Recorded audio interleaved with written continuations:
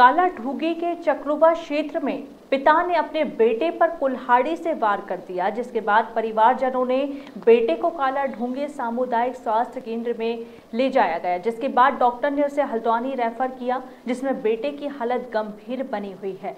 वहीं जानकारी के अनुसार चकलुवा के विद्रामपुर निवासी नरेंद्र प्रसाद ने घर में सो रहे अपने पुत्र अनिल प्रसाद पर कुल्हाड़ी से प्रहार कर दिया।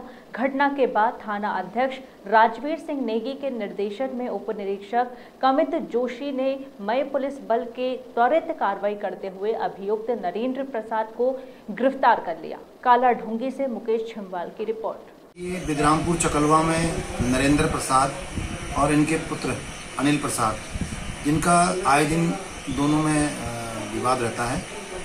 तो कल प्रातः के समय नरेंद्र प्रसाद ने अपने पुत्र अनिल को शराब के नशे में कुल्हाड़ी से मार दिया, जो इस समय आईसीयू में भर्ती है और जिसकी स्थिति गंभीर बनी हुई है।